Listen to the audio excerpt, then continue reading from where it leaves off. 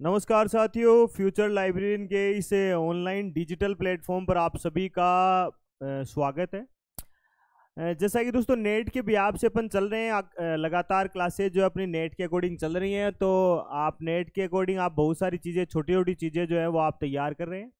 और तैयारी के साथ साथ आप इन चीज़ों को बड़े अच्छे तरीके से पढ़ेंगे तो ये आपके दिलो दिमाग में एकदम से पूर्णतया सेव हो जाएँगी। और अगर ये सेव हो गई तो इन फ्यूचर आपको यहाँ से जो भी एग्ज़ाम्स के अंदर जो भी क्वेश्चन आते हैं, उनको आप भली भांति क्या कर लेंगे? हल कर लेंगे।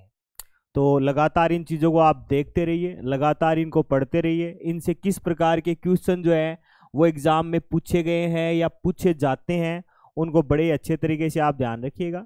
साथ ही साथ जो भी छोटी छोटी जानकारियाँ जो आपको वन बाई वन प्रत्येक क्लास में जो मिलती है, उसको भी आप क्या कीजिएगा, बड़े अच्छे तरीके से अपने दिमाग में सेव कीजिएगा।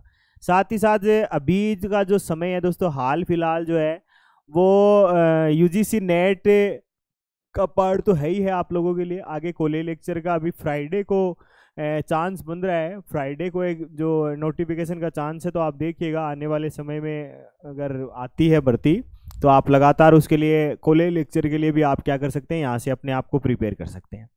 आज इस बिंदु पर मैं बात करूँगा आप लोगों से, दोस्तों, वो बड़ा ही सारगर्भित सा बिंदु है और सारगर्भित बिंदु है, उसके बारे में एग्ज़ाम में क्या है, बहुत बार प्रश्न भी पूछा गया है। एग्ज़ाम में बहुत बार क्या पूछे गए हैं, दोस्तों, इस बिंदु से क्वेश्चन भी पूछे गए हैं। इससे क्या क्वेश्चन पूछे गए हैं और यह जो टॉपिक है, ये क्यों इम्पोर्टेंट है, इसके बारे में बात करेंगे। साथ ही साथ इसको आज जो है, वो एक एजुकेशन सोसाइटी के रूप में क्या किया जा रहा है, दोस्तों, इसको डेवलप किया जा रहा है। तो एजुकेशन सोसाइटी के रूप में जो डेवलपमेंट जो इसका हो रहा है, उसमें कौन कौन सी चीज़ों को इसमें शामिल किया जा सकता है या इंक्लूड किया जा सकता है, उन सब की भी क्या कर लेते हैं दोस्तों, बातचीत जो है वो करेंगे, ठीक है ना? तो आज का अपना जो बिंदु है दोस्तों, वो है बार्क। बार्क है क्या सबसे पहले तो ये अपन बातचीत करेंगे। बार्क कब बनता है, किसके द्वारा इसको बनाया जाता है, इसका पूरा नाम क्या है, ठीक है ना? या यह जो है इसकी लोकेशन कहाँ है, यानी कहाँ लोकेटेड है ये?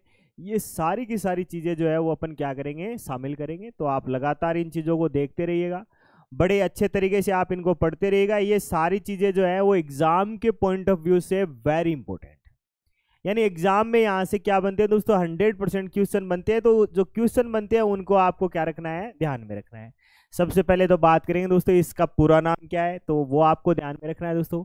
इसका जो पूरा नाम की अगर बात करेंगे तो ये है भाबा भाबा जो है दोस्तों वैज्ञानिक रहे हैं भारत में भाबा ओटोमिक, ठीक है ना? याद रखिएगा Bhabha atomic atomic research centre, ठीक है ना? याद रखिएगा Bhabha atomic research centre, Bhabha atomic research centre इसका क्या है भाई? इसका पूरा नाम है, ठीक है ना? भाभा ऑटोमिक रिसर्च सेंटर क्या है दोस्तों? ये इसका पूरा नाम है।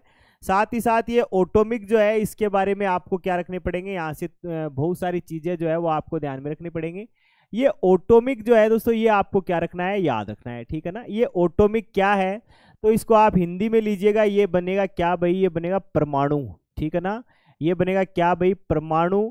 या एक जगह लिखा रहेगा आणविक, एक जगह लिखा रहेगा क्या भाई? आणविक। तो आप दोनों ही नाम जो है, वो आप क्या रखिएगा? ध्यान रखिएगा। यानी आणविक शोध केंद्र अब पीछे जो नाम अपन ने एक लिया है, वो आप याद रखिएगा, वो कौन है भाई? वो है भाबा तो पूरा नाम बन जाएगा क्या भाई? भाबा परमाणु, या ओब्लिक लगा के लिखिएगा, आणविक शोध केंद्र जो है, ये क्या है भाई? ये बार्क है।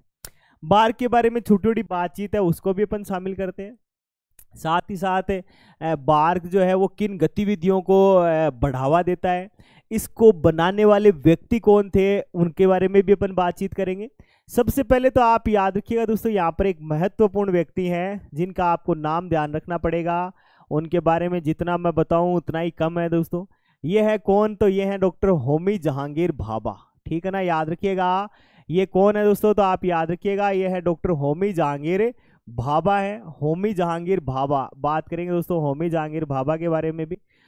यू समझिएगा कि भारत को एक एक आणविक शक्ति संपन्न राष्ट्र बनाने में अगर किसी व्यक्ति की महत्वपूर्ण भूमिका रही तो आणविक शक्ति संपन्न राष्ट्र बनाने में महत्वपूर्ण भूमिका निभाने वाले व्यक्ति कौन थे दोस्तों? डॉक्टर होमी जहांगीर बाबा थे। इनके बारे में थोड़ी दो चार बातें अपन शामिल कर लेते हैं। हालाँकि एग्ज़ाम के पॉइंट ऑफ़ व्यू से तो इम्पोर्टेंट नहीं है, लेकिन फिर भी आपको ध्यान में रखना है। इनका जन्म जो है वो अक्टूबर, ठीक है ना? याद रखिएगा। अक्टूबर में भी आपको याद रखना है, एक डेट याद रखनी है, तीस अक्टूबर उन्नीस सौ नौ को इनका क्या हुआ था भाई? इनका जन्म हुआ था। 30 अक्टूबर 1909 को इनका क्या हुआ? इनका जन्म हुआ। और बात करें दोस्तों, यहाँ से आप इसको याद रखिएगा 1966 में 1966 में जनवरी 24 को। कब भाई? तो याद रखिएगा 1966 जनवरी 24 को इनकी क्या हो गई थी भाई? इनकी मृत्यु हो गई। अल्पकाल, यानी यूँ समझिएगा कि ज़्यादा समय तक जीवित नहीं रहे। उस समय औसतन आयु थी वो ज़्यादा होती थी। आज की स्थितियाँ अलग है थोड़ी सी आप ये मान के चलिए, यहाँ पर लगभग 55 वर्ष की जो है अवस्था है 55 एज की एज जो है दोस्तों, इसमें ये लोग, ये क्या हो गए भाई, ये इस दुनिया से अलविदा कह दिया। अदर अदरवाइज़ आप इसको इस तरीके से याद रखिएगा कि भारत को आणविक शक्ति संपन्न, भारत को क्या भाई? तो आप याद रखिएगा, भारत को आणविक शक्ति संपन्न राष्ट्र, आणविक शक्ति आणविक शक्ति संपन्न राष्ट्र बनाने का जो कार्य है आणविक शक्ति संपन्न राष्ट्र जो है, बनाने का कार्य जो है, वो जिसका सपना जो है, वो सबसे पहले जिस व्यक्ति ने लिया था, उनका नाम डॉक्टर क्या था भाई? डॉक्टर होमी जहांगीर भाभा था, जिनका जो क्या चाहते थे भाई? जो भारत को क्या करते भाई? भारत में परमाणु जो कार्यक्रम जो है, परमाणु कार्यक्रमों की कल्पना करने वाले आदमी, यानी किसमें भाई? तो आप याद रखिएगा, भारत में, और भारत में क्या? तो आप याद रखिएगा, भारत में परमाणु कार्यक्रमों की, परमाणु कार्य कर्मों की कल्पना करने वाले, परमाणु कार्य कर्मों की क्या भाई? तो आप याद रखिएगा भारत में परमाणु कार्यक्रमों की, परमाणु कार्यक्रमों की कल्पना करने वाले पहले व्यक्ति, कल्पना करने वाले जो प्रथम व्यक्ति थे, करने वाले वाले प्रथम व्यक्ति जो है वो कौन थे भाई? तो आप याद रखिएगा दोस्तों, प्रथम व्यक्ति जो है वो कौन थे भाई? प्रथम व्यक्ति जो है वो डॉक्टर होमी जहांगीर भाभा थे, ठीक है ना? प्रथम व्यक्ति कौन थे तो आप याद रखिएगा वो डॉक्टर होमी जहांगीर भाभा थे। कौन थे भाई? तो आप याद रख लीजिएगा अच्छे से। होमी जहांगीर भाभा हैं, वो क्या थे भाई? वो प्रथम व्यक्ति थे, ठीक है ना? तो साधारण सी बात तो आपको यहाँ से इसके बारे में, इनके बारे में आपको ध्यान रखनी है। बार की स्थापना है, वो कैसे होती है? कब होती है? सबसे पहले डॉक्टर भाभा जो है वो 1945 में 1945 यानी सन 1945 में, ये टाटा के साथ में, टाटा के साथ में टाटा इंस्टीट्यूट ऑफ़ एक रिसर्च का संस्थान जिसके बारे में बातचीत करेंगे अपन, Tata institute of fundamental research के नाम से ये क्या करते हैं, डेवलप करते हैं, कब शुरुआत होती है उसके बारे में बातचीत करेंगे।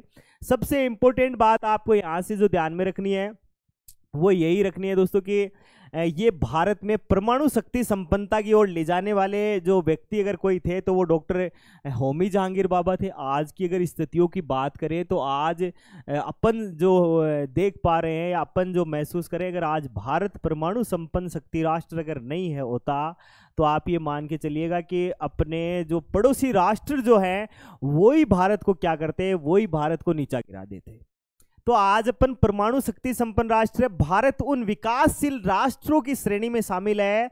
जो आने वाले समय में विकसित राष्ट्र क्या होंगे, बनेंगे या जिनको नाटो का पावर मिलेगा। और उसकी श्रेणी में अगर पहला काम किसी व्यक्ति के द्वारा किया गया था दोस्तों तो वो कौन थे भाई? वो डॉक्टर होमी जहांगीर भाभा थे, जिनके संदर्भ में अपन बातचीत करेंगे कि डॉक्टर होमी जहांगीर भाभा ने जो कल्पना जो शामिल की कल्पनाशीलता का जो उन्होंने समावेश किया, उसके लिए डॉक्टर होमी जहांगीर बाबा ने क्या किया भाई? जो अपने प्रयास जो है, वो उन्होंने शुरू किए। इसके लिए डॉक्टर भाभा ने क्या किया? देखो, डॉक्टर भाभा ने 1945 में, कब भाई? तो आप याद रखिएगा 1945 में, ये सारे काम कहाँ हो रहे थे भाई? तो वो भी आप याद रखिएगा, ये सारे काम उस समय का बम्बई और वर्तमान का मुंबई, ठीक है ना? याद रखिएगा, उस समय का बम्बई और वर्तमान का क्या भाई? मुंबई। यहाँ पर भी क्या है? तो आप याद रखिएगा, यहाँ पर भी क्या है दोस्तों? तो आप याद रखिएगा, यहाँ पर भी टाटा इंस्टीट्यूट, ठीक है ना? याद रखिएगा, टाटा इंस्टीट्यूट ऑफ़ फंडामेंटल, ठीक है ना? याद रखिएगा, Tata institute of fundamental research, ठीक है ना? याद रखिएगा, Tata institute of fundamental research. इस नाम से ये क्या करते हैं दोस्तों? इस नाम से ये एक सोसाइटी बनाते हैं। Tata Tata institute of fundamental research के नाम से क्या करते हैं? एक संस्था की स्थापना करते हैं। Tata institute of fundamental research नाम से क्या करते हैं? नाम से एक, नाम से एक क्या करते हैं? एक संस्थान की स्थापना करते हैं। नाम से एक क्या करते हैं भाई? संस्थान की क्या करते हैं? तो आप याद रखिएगा, संस्थान की स्थापना करते हैं। और यह जो है, यह जो है दोस्तों, यह डॉक्टर होमी जहांगीर भाभा के जीवन का क्या है? ये मानिए चलिएगा कि यह पहला प्रयास था जिसको आप शॉर्ट नेम भी आप याद रखिएगा। ये बन जाएगा क्या भाई? तो आप याद रख लीजिएगा इसको, ये बन जाएगा टी आई एफ़ आर यानी Tata institute of fundamental research के नाम से क्या बना देते हैं? ये एक सोसाइटी बना देते हैं और बात करें इसके बाद में तो यह राष्ट्र को परमाणु शक्ति संपन्न बनाने हैं। तो यानी परमाणु शक्ति संपन्न या परमाणु ऊर्जा में परमाणु ऊर्जा में क्या बनाने के लिए भाई? परमाणु ऊर्जा में श्रेष्ठ बनाने के लिए। क्या बनाने के लिए भाई? श्रेष्ठ बनाने के लिए एक प्रयास करते हैं। ये प्रयास कब करते हैं? तो उसके संदर्भ में भी अपन बातचीत करेंगे। ये इनके द्वारा जो प्रयास है, वो तीन जनवरी को किया जाता है। तीन जनवरी में भी आपको एक डेट जो है, वो आपको याद रखना है दोस्तों। थर्ड जनवरी और थर्ड जनवरी 1954 आपको याद रखना है। ठीक है ना? थर्ड जनवरी 1954 जो है, वो आपको क्या रखना है? ध्यान में रखना है। और यहाँ भी आपको एक छोटा सा नाम जो है वो दोस्तों आपको याद रखना है। बम्बई में ही आपको याद रखना है। A double A double E और उसके साथ में जगह का नाम आप याद रखिएगा। टी टी का यहाँ है ट्रोम्बे। टी का यहाँ क्या है भाई? टी का नाम है ट्रोम्बे। एक संस्था बनाते हैं। कौन भाई? तो आपको याद रखना है डॉक्टर होमी जहांगीर बाबा जो है।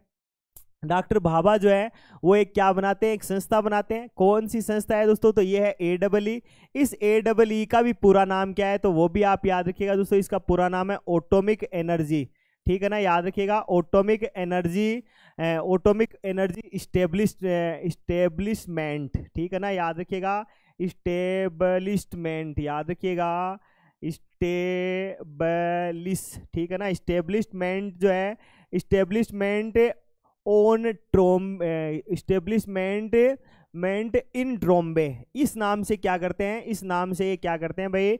इस नाम से ये क्या बनाते हैं? एक संस्था बनाते हैं। कब बनाते हैं? तो ये संस्था जो है इसके संदर्भ में आप याद रखिएगा, ये संस्था बनाते हैं कब? है तो ये बनाते हैं तीन जनवरी 1960 1954 को बनाते हैं। इसका भी मुख्यालय कहाँ है? तो आप याद रखिएगा दोस्तों, इसका भी मुख्यालय कहाँ है? मुंबई में है।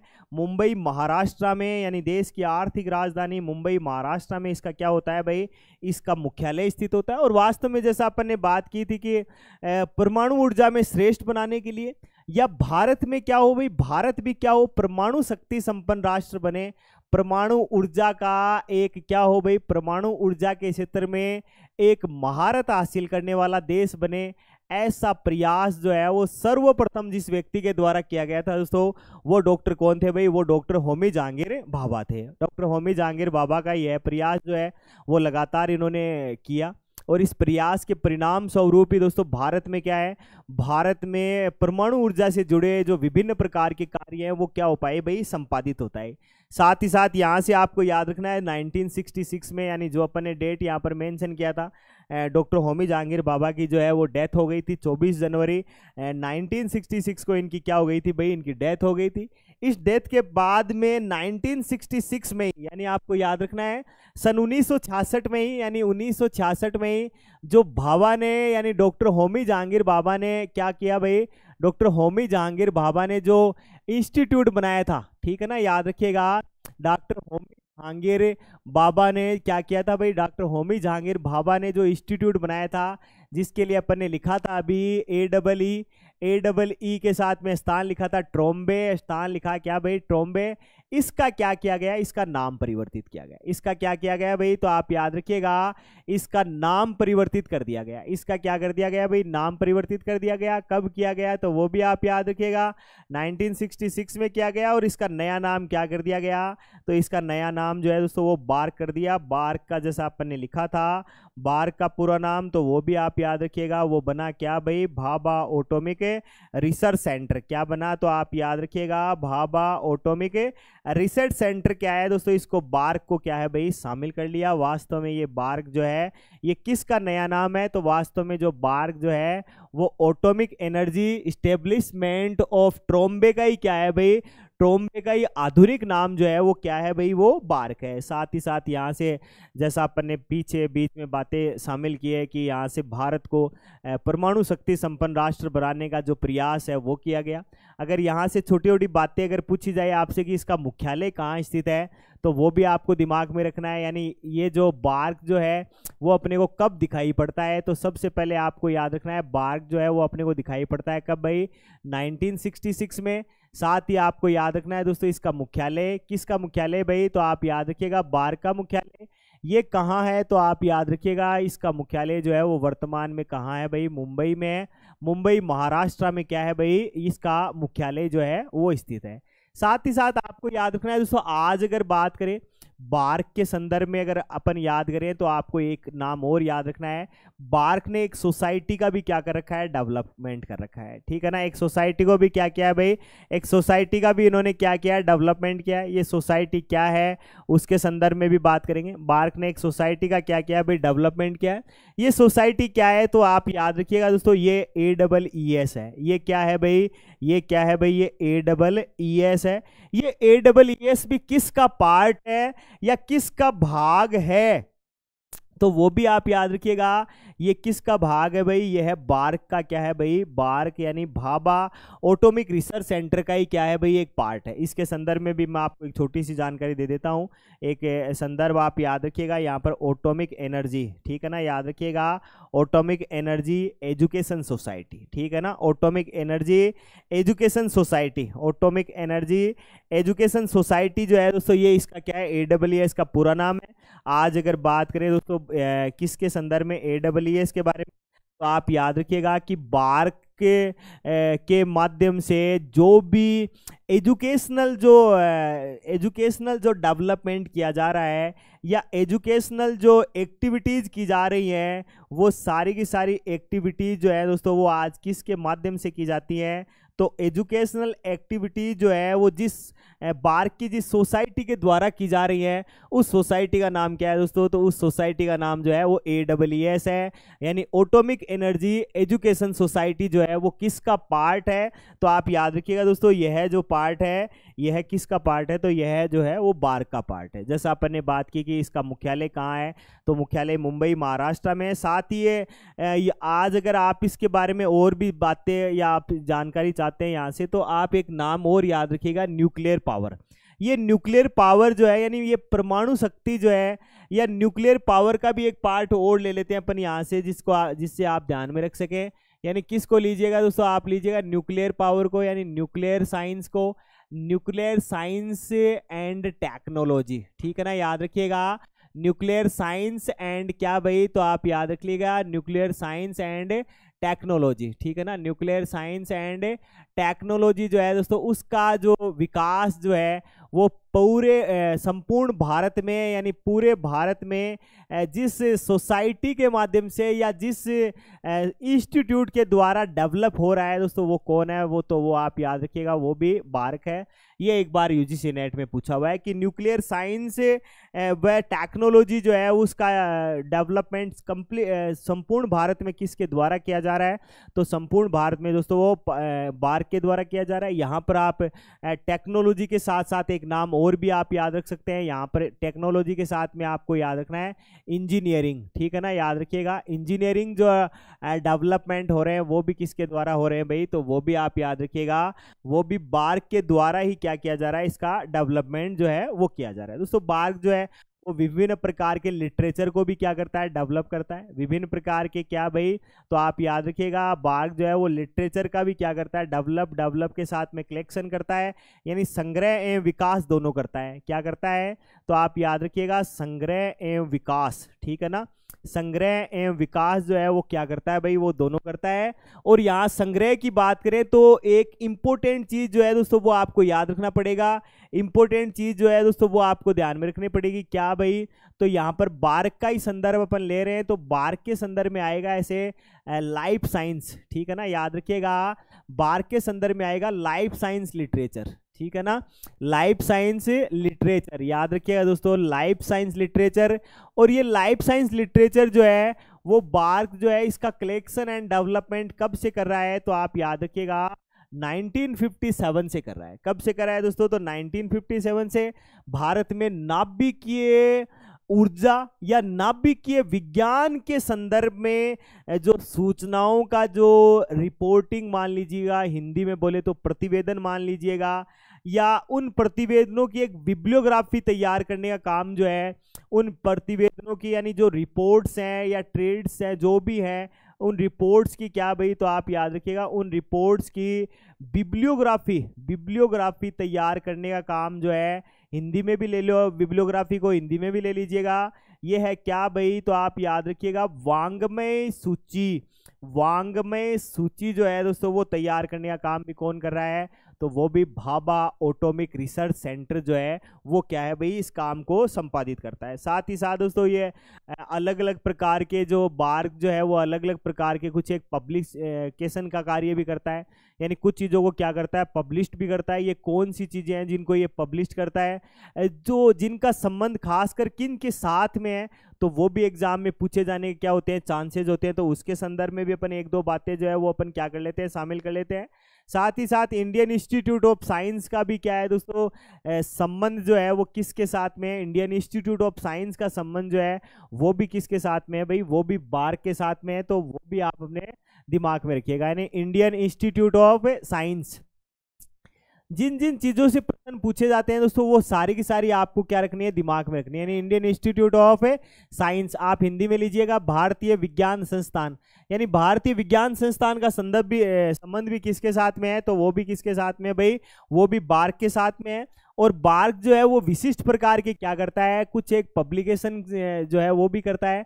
तो आप याद रखिएगा पब्लिकेशंस ऑफ़ बार्क ठीक है ना? याद रखिएगा पब्लिकेशंस ऑफ़ बार्क अब बार्क जैसा अपन ने किया है दोस्तों क्या अपन यहाँ पर शामिल किया है कि ये किस से संबंधित है? तो ये जो है वो पूरा का पूरा जो है वो न्यूक्लियर पावर या ऑटोमिक एनर्जी इनके साथ में क्या है, संबंधित है। तो ये पब्लिकेशन भी किस प्रकार के करेगा?